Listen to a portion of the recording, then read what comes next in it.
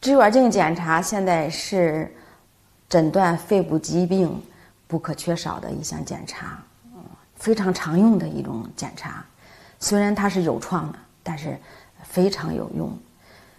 呃，对于结核来说，如果我们患者的临床表现、影像学表现，呃，胸片、CT 片，还有痰液检查等等，经过各种检查，呃，仍然诊断不清，这时候我们就需要做支气管镜检检查。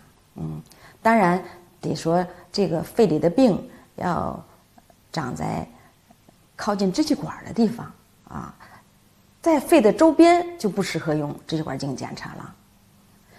呃，还有呢，就是这个病需要和肺部其他疾病和支气管其他疾病要鉴别的时候，我们要需要做支气管镜检查。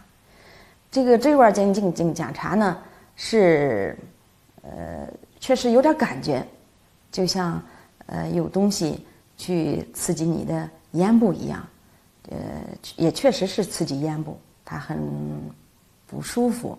哎，一旦患者配合好了，镜子进到气道里头，也就好多了，感受好多了就。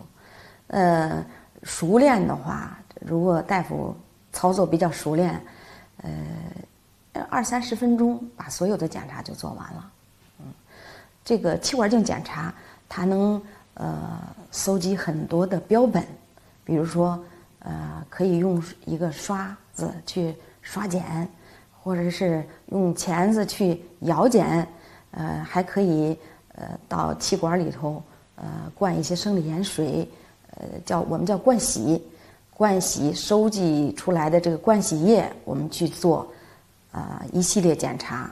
对于结核来说，有结核菌的培养，呃结核菌的生物学检查，呃图片等等。